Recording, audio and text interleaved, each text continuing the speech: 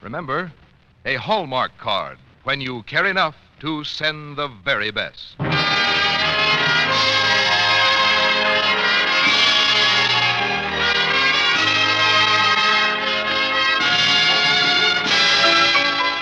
Tonight, from Hollywood, the makers of Hallmark greeting cards bring you Mr. Jean Hersholt in Hans Christian Andersen's The Wild Swans on the Hallmark Playhouse. Each week, Hallmark will bring you Hollywood's greatest stars in outstanding stories chosen by one of the world's best known authors, the distinguished novelist, Mr. James Hilton.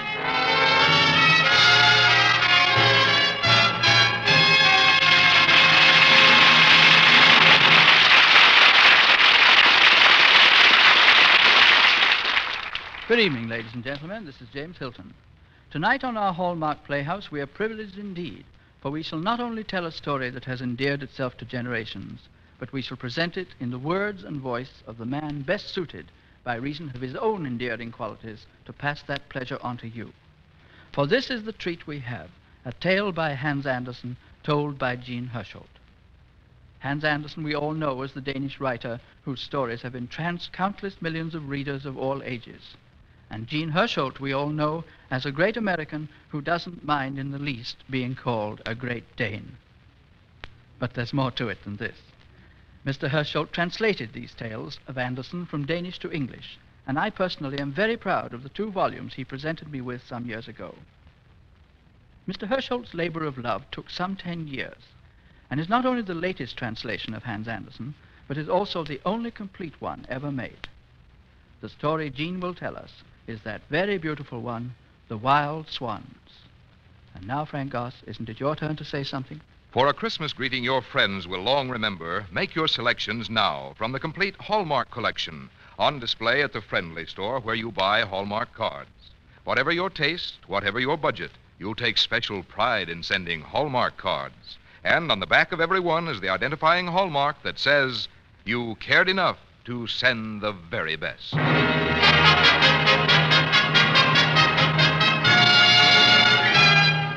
Hallmark Playhouse, starring Jean Hersholt in Hans Christian Andersen's The Wild Swans.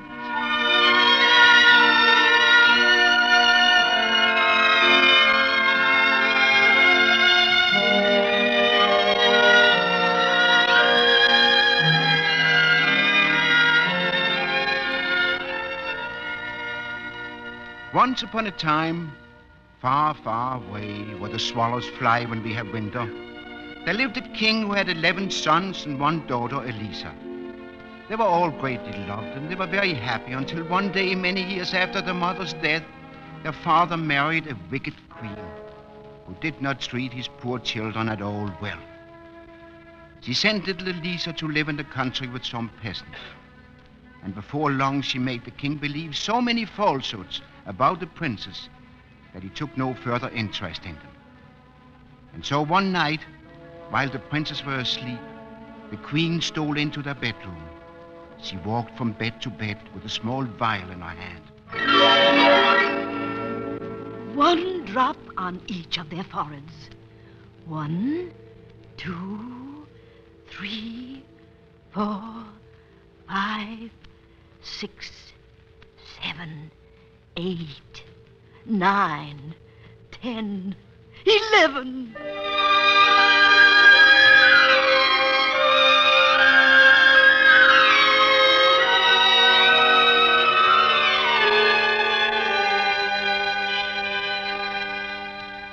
So the queen transformed the princess into 11 magnificent swans. It was so early in the morning that the sister Elisa was still asleep when they flew over the peasant hut where she was staying.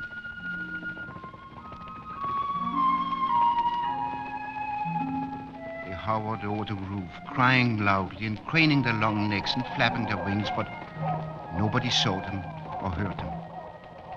And at last they were forced to fly on, high up near the clouds and far away into the wide world.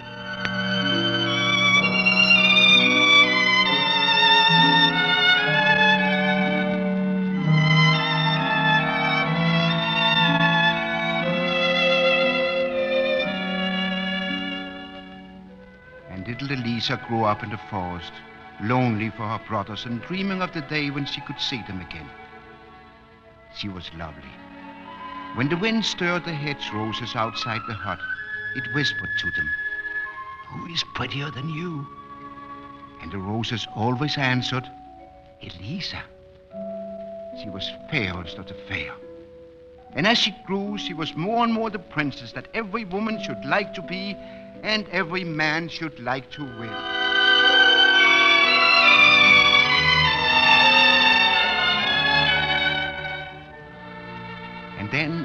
One day, a traveler from her father's palace brought word of the disappearance of her brothers and warned her that she must never return to the palace or the queen would surely kill her.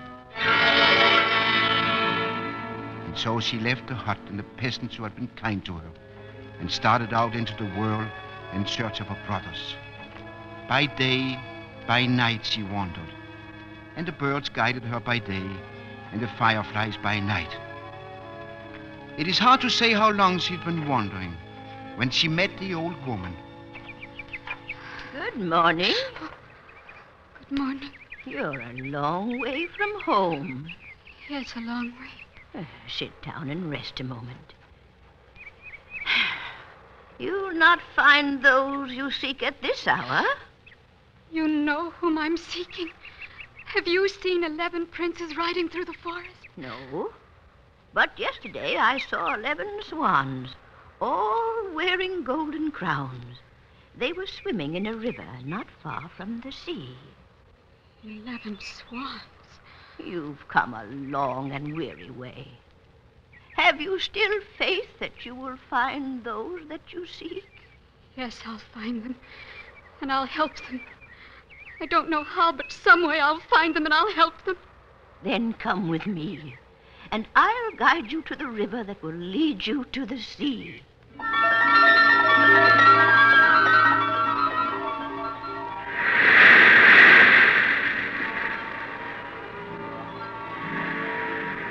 And so Elisa came to the sea.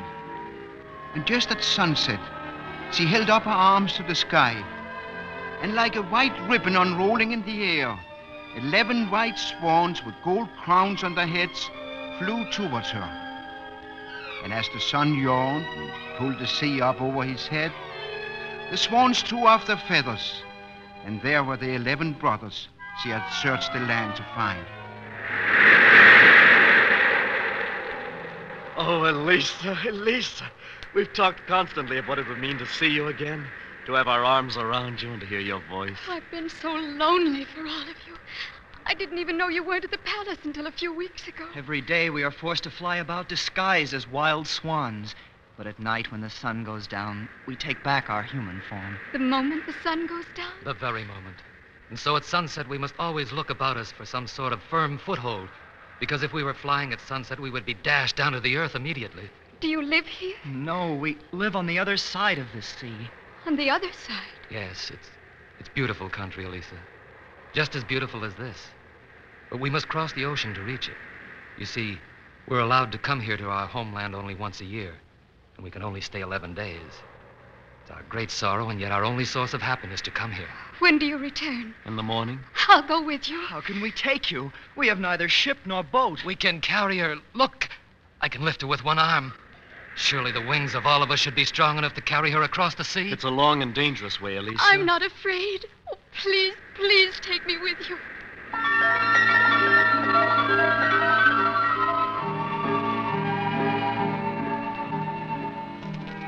They spent the entire night making a net of pliant willow bark and tough rushes.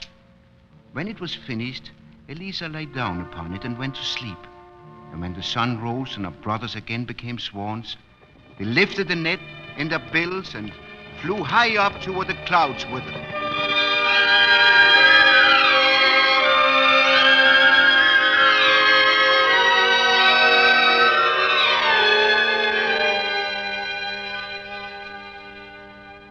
That night, Elisa found herself in a strange land on the other side of the ocean, in front of the large cave that was the home of her brothers. After they had eaten, they led her to the nook where she was to sleep.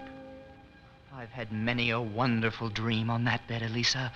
We'll see what you dream of there tonight. I only wish I could dream how to set you free. That's the prayer of my life now. To set you free.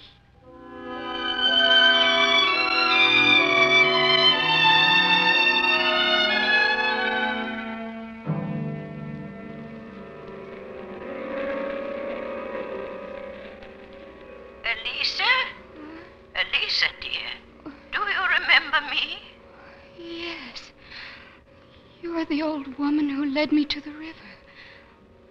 What are you doing here in my dream? You prayed for help. I've come to you in your dream to help you if I can. Do you see this stinging nettle in my hand?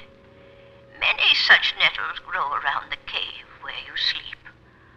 Only those and the ones that grow upon graves in the churchyard may be used. Remember that.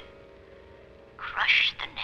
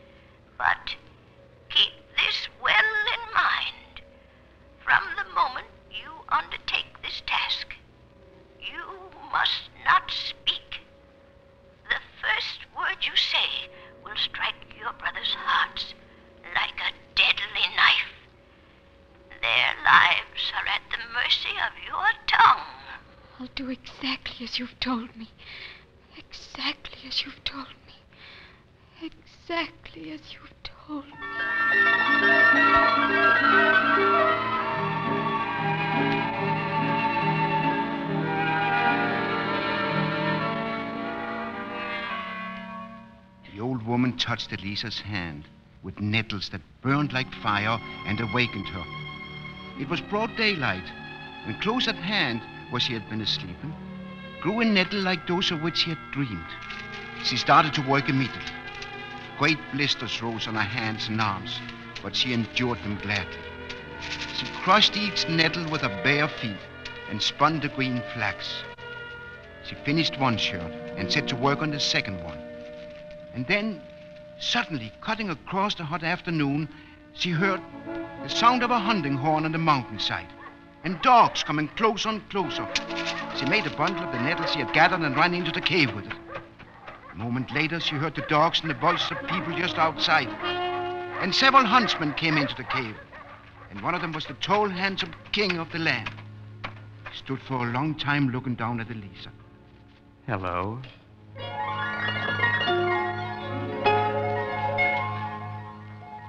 King smiled down at her, waiting for her to say something. She was the most beautiful girl he had ever seen. Elisa stared at him wordlessly. Who are you? What are you doing here? Elisa shook her head. Her brother's deliverance and their lives depended on her silence.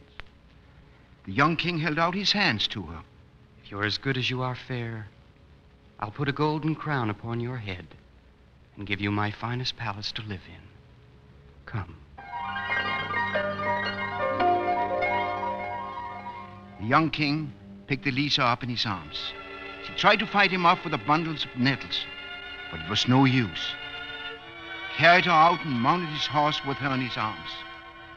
Great silent tears still falling from her eyes. But not one sob escaped her. Not one sound. My dear, don't you realize? No harm is going to come to you. I only want to make you happy. You're not my prisoner. I am yours.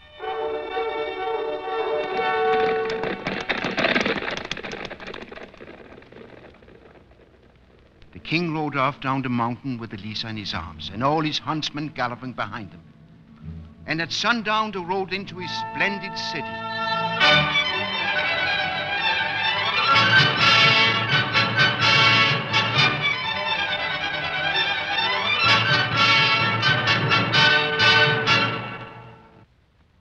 This is my kingdom, and now it's yours.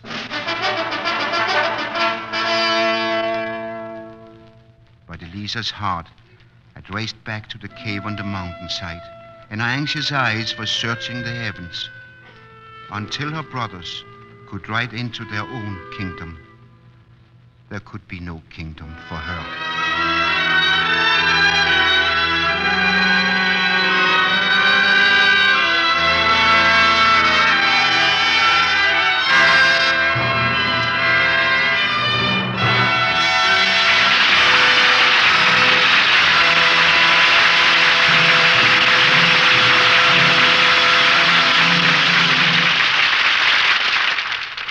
In a moment, James Hilton will return to introduce the second act of Hans Andersen's Wild Swan, starring Jean Hersholt. But first, wouldn't you like to have several boxes of assorted Christmas cards to have on hand for filling out your lists and to take care of last minute additions? You'll find a complete array of Hallmark boxed selections to choose from at the friendly store where you buy your Hallmark cards. And just because they are Hallmark cards doesn't need uh, mean that they have to be expensive. For example, for only 50 cents, there's a box titled Christmas in the Country with 12 colorful Christmas winter scenes that would delight anyone. Then there is the Hallmark Family Box that contains 22 different Christmas cards for only $1. And there's a special box for the kiddies, so appealing they will want to keep a set themselves. Among the many other Hallmark box selections are old time prints by Currier and Ives, colorful Christmas scenes painted by Norman Rockwell, with the kindly understanding for which he is famous, verses by Edgar A. Guest, America's favorite poet, winter scenes that recapture childhood memories by Grandma Moses.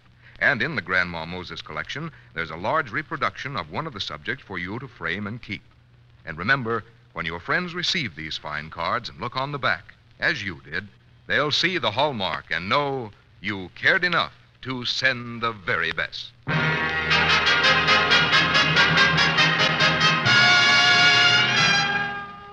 Now we continue with part two of Hans Andersen's The Wild Swans, starring Jean Hersholt.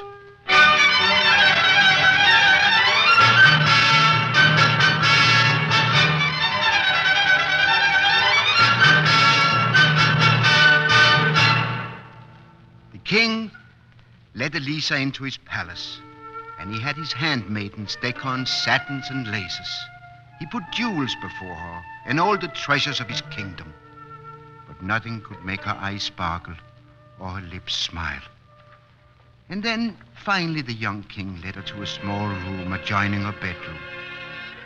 On the floor lay the bundle of flax she had spun from the nettles, and from the ceiling hung the shirt that she had already finished. When Elisa saw them, hope rose up joyously inside her, and she smiled. And then she went down on her knees and kissed the king's hand. He lifted her to her feet gently.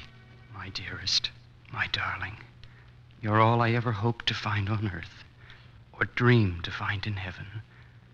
Will you take my name and my heart and my kingdom? The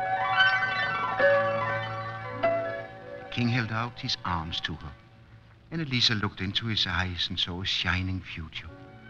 And so she put her hand in his, and that was her promise.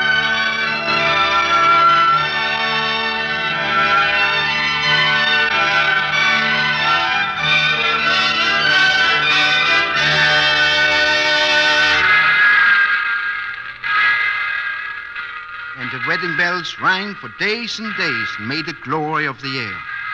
And eleven white swans flew over the city, their wings outstretched in benediction.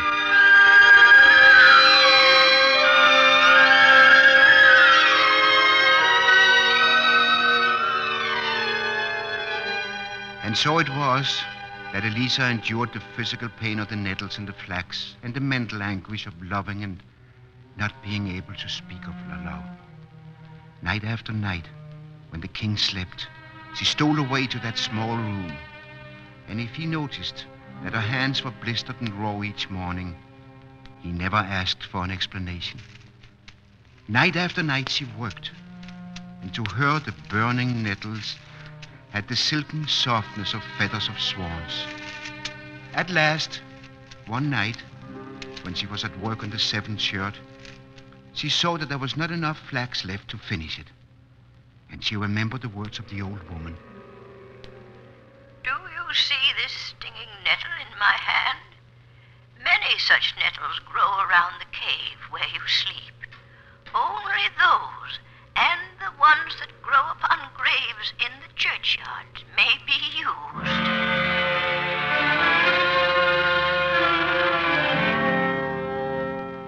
She wrapped a shawl about her and went out alone. Alone through the dark, shadowed palace. Alone through the frightening blackness of the gardens. Were those footsteps following her? Or was it only the wind? She didn't dare pause to look back. Alone through the long, empty alleys. Alone through the deserted, threatening streets. Alone into the churchyard. Alone to the very edge of the graves to gather nettles, while the ghosts and the ghouls and the witches circled around her. Fast on, fast on, fast on, trying to snatch the living breath from her. She kept her eyes on her task, and she prayed as she worked. And at last, her bag was full of the nettles. She rose then, and steadfastly faced the ghostly circle. They moved about her, faster, faster, in an ever tightening ring. Will as strong as her faith in God. She walked steadily towards them, and the terrible music clamored and dinned in her ears. But she walked through the circle. She walked through, and they fell back before her. She hurried home through the dawn. She had no idea that someone had been watching her that night. That even now, one of the king's trusted ministers was hurrying to tell him that his wife was a witch, and that she had been received by the witches and ghouls at their revels and been permitted to leave unharmed. I can't believe it. It is true, Your Majesty. I saw the Queen leave the palace. I followed her to the edge of the churchyard. I saw her arrive and leave with my own eyes. So fair, so lovely, so good. Surely you must be mistaken. Look at her hand, Your Majesty. Ask your own heart the answer. It's true, her hands are often sore and bleeding. All witches' hands are like that. It's caused by the poisonous vapors and the potions they brew. Could could a witch be as beautiful as she is? A powerful witch may create almost any illusion. You know that, Your Majesty. But punishment for witchcraft Is death by fire. I'll not sentence her. Then the people must judge her and sentence her. It is the law. Let the people judge her if they like. But I I cannot do it.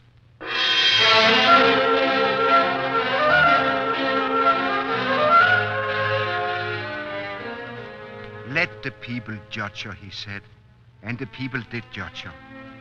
They condemned her to die by fire. She was led from the royal halls to a dungeon. The jailer opened an iron door. In with you now. Let's see if you're witch enough to escape that fire in the morning. You'll have no silks and velvets down here. Use your bundle of nettles for a pillow. Use these coats of mail you've woven for your covers. Lisa went to work immediately. She was completely alone. But towards evening, she heard the rustle of a swan's wings outside her window, and she wept with joy to know that her brothers were close at hand. Fingers flew, untiring, unfaltering, as the night deepened and then began to fade.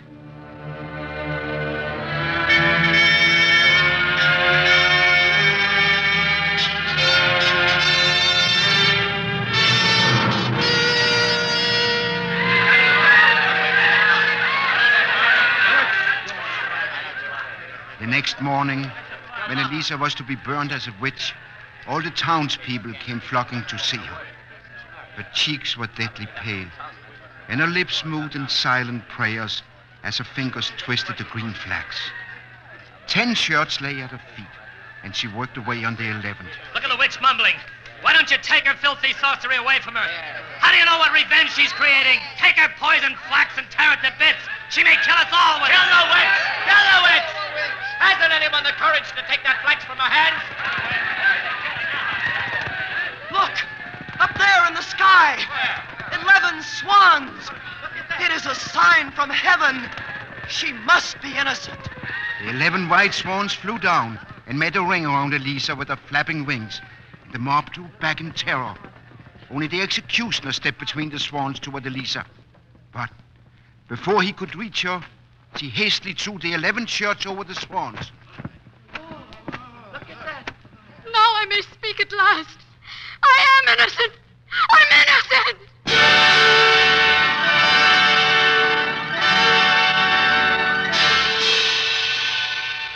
She is innocent indeed, said her eldest brother.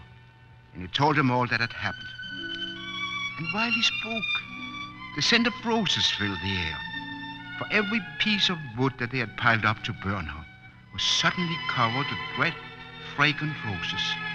And at the very top, a single pure white flower shone like a star. The king cut it and put it in Elisa's hand. My queen, my wife. My darling. I loved you the first moment I saw you. And I will love you forever. And so the eleven princes went back to claim their kingdom. And the king picked up Elisa and rode back with her once again to the city. And all was joy and happiness and celebration. And as was the custom in those days, they lived happily ever after.